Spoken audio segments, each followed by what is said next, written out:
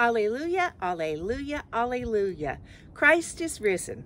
My name is Kathy Martin, and I'm a member of St. Paul's Episcopal Church in Burlingame.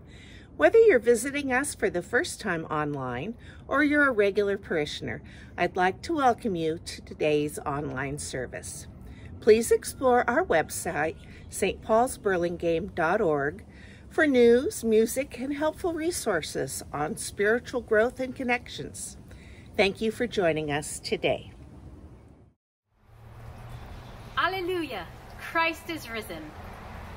He is risen indeed. Alleluia.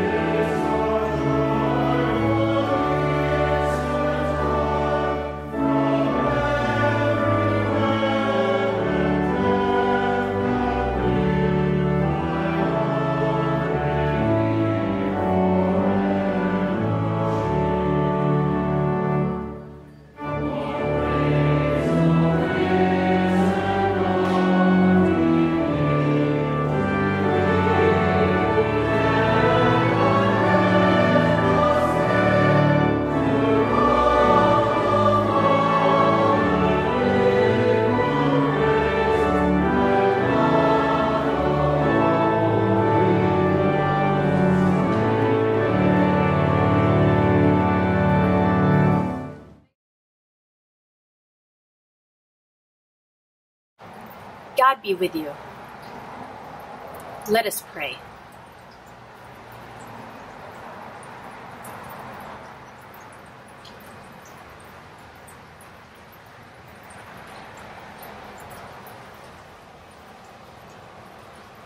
Almighty and ever living God, who in the paschal mystery established the new covenant of reconciliation, grant that all who have been reborn into the fellowship of Christ's body may show forth in their lives what they profess by their faith. Through Jesus Christ our Lord, who lives and reigns with you and the Holy Spirit, one God, forever and ever. Amen.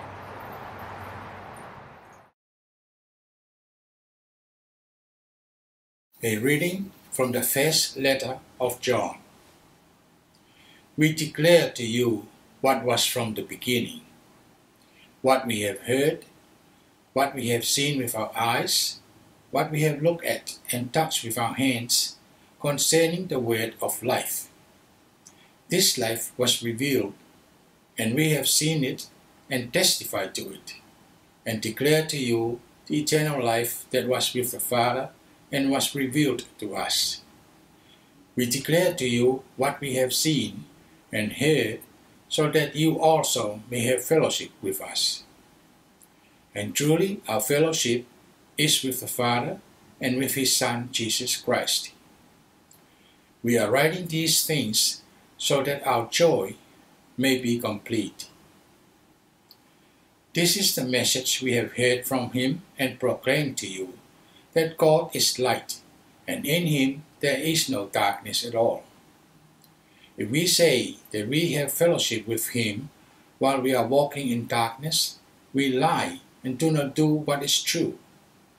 But if we walk in the light as he himself is in the light, we have fellowship with one another, and the blood of Jesus his Son cleanses us from all sin. We say that we have no sin, we deceive ourselves, and the truth is not in us. If we confess our sins, he who is faithful and just will forgive us our sins and cleanse us from all unrighteousness. If we say that we have not sinned, we make him a liar, and his word is not in us. My little children, I am writing these things to you so that you may not sin. But if anyone does sin, we have an advocate with the Father, Jesus Christ the righteous. And he is the atoning sacrifice to our sins, and not for ours only, but also for the sins of the whole world. Hear what the Spirit is saying to God's people.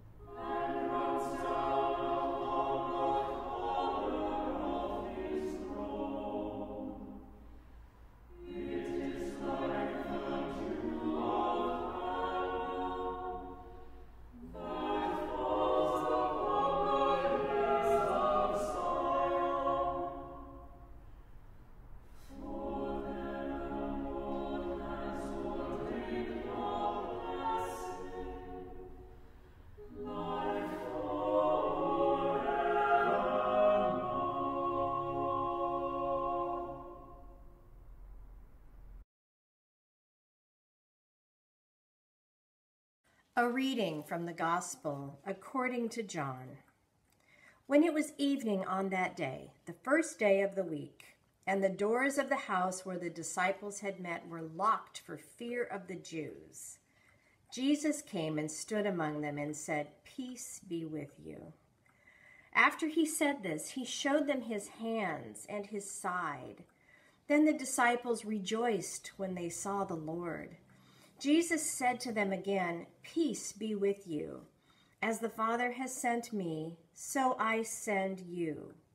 When he had said this, he breathed on them and he said to them, Receive the Holy Spirit. If you forgive the sins of any, they are forgiven them. If you retain the sins of any, they are retained. But Thomas, who was called the twin, one of the twelve, was not with them when Jesus came. So the other disciples told him, We have seen the Lord. But he said to them, Unless I see the mark of the nails in his hands, and put my finger in the mark of the nails, and my hand in his side, I will not believe. A week later, his disciples were again in the house, and Thomas was with them. Although the doors were shut, Jesus came and stood among them and said, Peace be with you. Then he said to Thomas, Put your finger here and see my hands. Reach out with your hand and put it in my side. Do not doubt, but believe. Thomas answered him, My Lord and my God. Jesus said to him, Have you believed because you have seen me? Blessed are those who have not seen and yet have come to believe. Now Jesus did many other signs in the presence of his disciples, which are not written in this book. But these are written so that you may come to believe that Jesus is the Messiah, the Son of God, and that through that believing you may have life in his name. Hear what the Spirit is saying to God's people.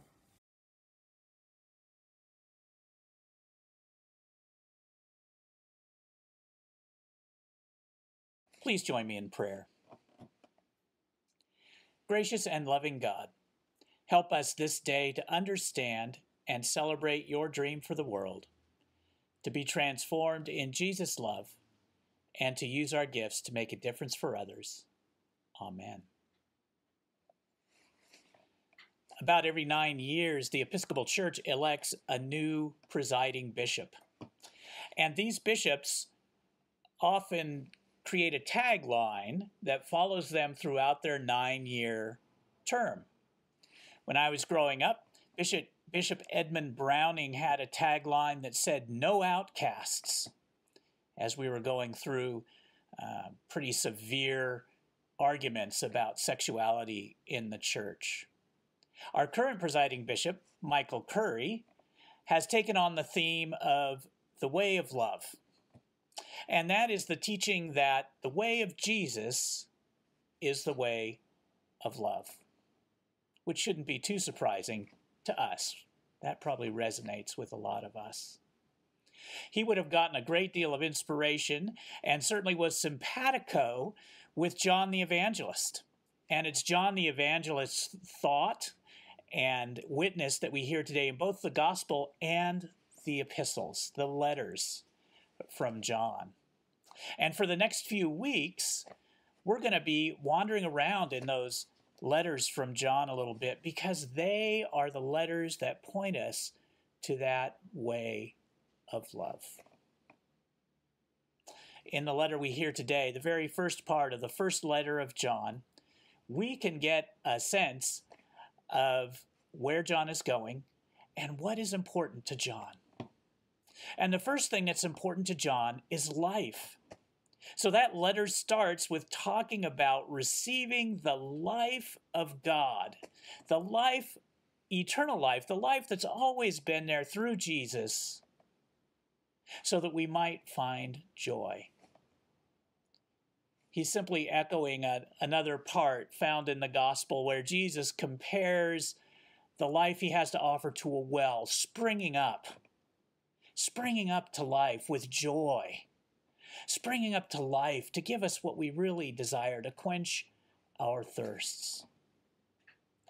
And so it's that kind of exuberant, joyful life, that kind of life that rises up in us and gives us what the scripture calls the peace that passes understanding. It's that gift that John is all about the gift of life. And the currency for John is the way of love. The way that we give and receive this life is by spending and receiving love. And if we can be believers who live in love, then we will find that life that John is so excited about. John has another theme, and that's that people often turn away from this life for some reason. They seek to find life in other places. They seek to use a different currency. Maybe that currency is uh, wealth or celebrity or power but these currencies don't lead to the kind of life that John is talking about. These currencies, when we turn to them and depend on them to find life, that's what John would even call sin. It's turning away from true life. There was a great example of this a couple of years ago when Bishop Curry, whose theme is the way of love, preached at the royal wedding of Harry and Meghan, who've also been in the news a bit lately. Perhaps you watched it, but there was a lot of currency going on in that wedding. As, uh, as the show started, and it certainly seemed like a show, you saw all these people dressed up. All these people with these different currencies to try to find some kind of approximation of life. There were the women with the amazing hats. Wow. To see and be seen. When the announcers were noticing the wedding, what were they talking about? The celebrities that were there, the famous people with reputation. There were the dignified men with coats with many medals hanging on the side. Even Harry himself was wearing a coat with many medals hanging down on the side. There was the Queen being very proper. And the most dressed up and the most proper were the Anglican clergymen. So proud to see them, my brothers. Uh oh, I think they were all brothers, gathered there for that great wedding. But there was one clergyman, our very own Michael Curry, who was the preacher that day. Michael Curry stood up and he began to preach about love, which seems natural at a wedding, doesn't it? And so he started talking about Meghan and Harry and, and love. And then he really got going and he began to preach about the way of love and about how the whole world needed to, to, to rest itself in love. He began to speak about the currency of love. And the cameras couldn't help but pan out over the congregation that day. All those people dressed in fine hats and coats with fancy medals to see how they were responding to this explosion of life in the pulpits, preaching about love. Now, perhaps these people didn't spend enough time in church, and I imagine some of them spent too much time in church. Because instead of being enlivened by this preaching, by this promise of the true life that's found when one rests in God's love, there were embarrassed looks from people who spent so much time cultivating their careful image. There was the stoic seriousness of the clergyman who sat right behind Michael Curry. And Michael Curry's exploding with joy, and the stoic clergyman sits quietly and very seriously because that's what one ought to do when one is behaving properly in church. And so, there, in that moment, a wedding, which should mostly be about love, people sat wrapped in all those different currencies that they hope, that they trust in, that they count on to bring them some kind of life or value in life.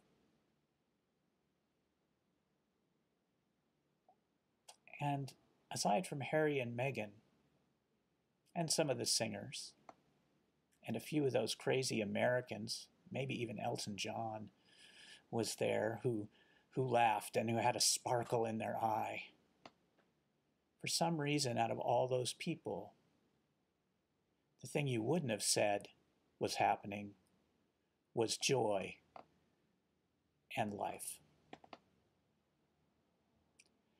And that's the tragedy for John when he writes to the Christians.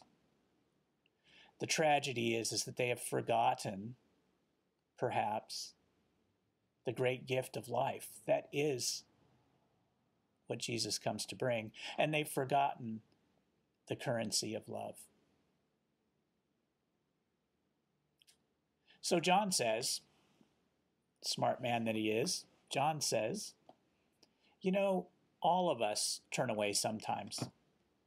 None of us perfectly rests either in trusting that God is the true source of all life, or none of us trusts quite enough in that to simply deal in the currency of love. We have our other currencies that we use to somehow try to buy life or receive life.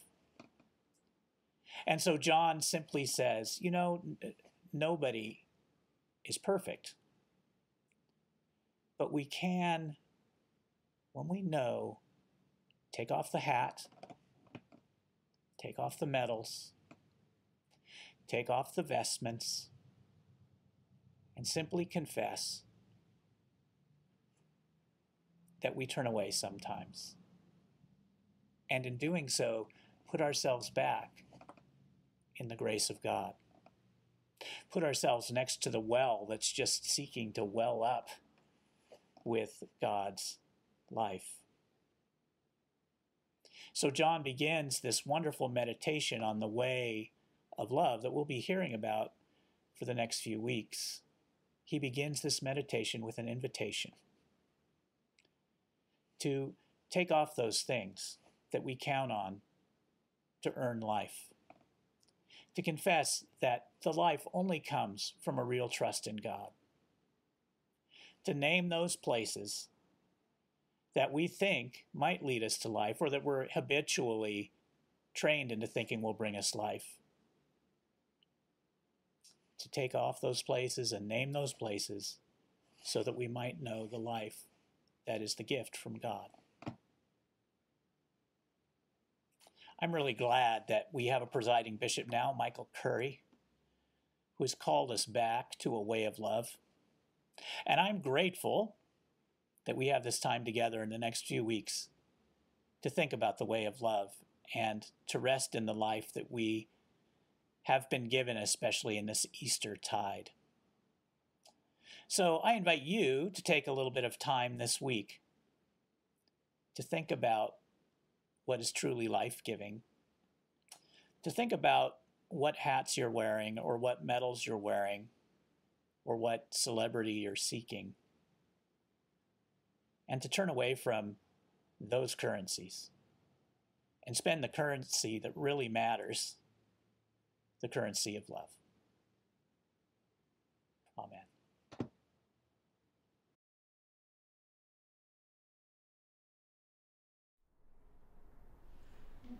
Lord.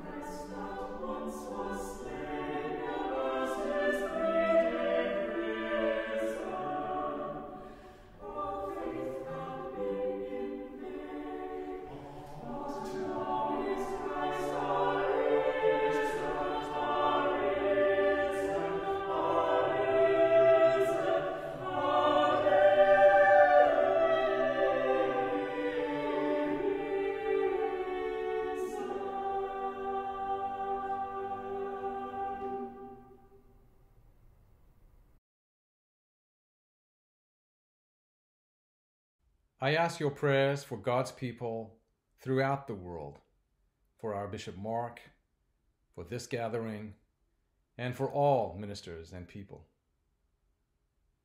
We give thanks especially for those who work to prepare such a wonderful Holy Week and Easter. Pray for the Church. I ask your prayers for peace for goodwill among nations, and for the well being of all people. As we receive the gift of new vaccines in our own nation, we pray for just and compassionate sharing among the nations of the world. Pray for justice and peace. I ask your prayers for the poor, the sick, the hungry, the oppressed, and those in prison. We pray for those in any need or trouble. This week, we especially pray for Jim Hansen, Bonnie Merrick, Christopher, Joan Verlingo, Linda McLaughlin, Diane Miller, the Forrest family, Michelle Sloat, and Susan Lawson, Billy Young, Banafshe, Laura Cope, John and Arlene Borgeson, Nate Price, Michelle Blair, Nan Casulos, Tom Bryce, Renee and Bern Kim, Wally Clevishaw, Jim Prescott, and the Murdoch family, especially Charlotte. I ask your prayers for the departed. Pray for those who have died.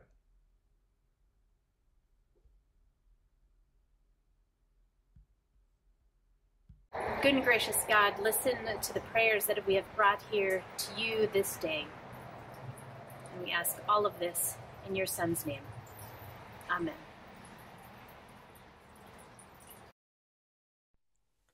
And now, let us all pray together the prayer that Jesus taught us Our Father, who art in heaven, hallowed be thy name.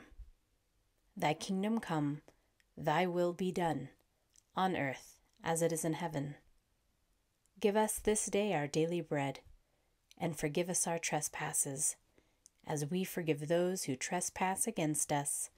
And lead us not into temptation, but deliver us from evil. Amen.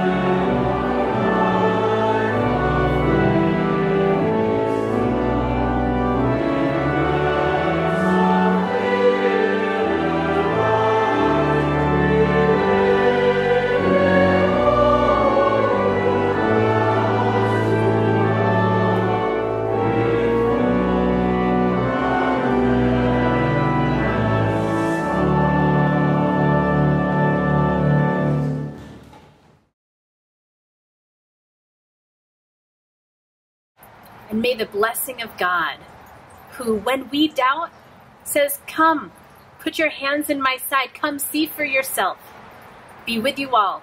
In the name of the Father, and of the Son, and of the Holy Spirit. Amen. May we all remain one. Alleluia.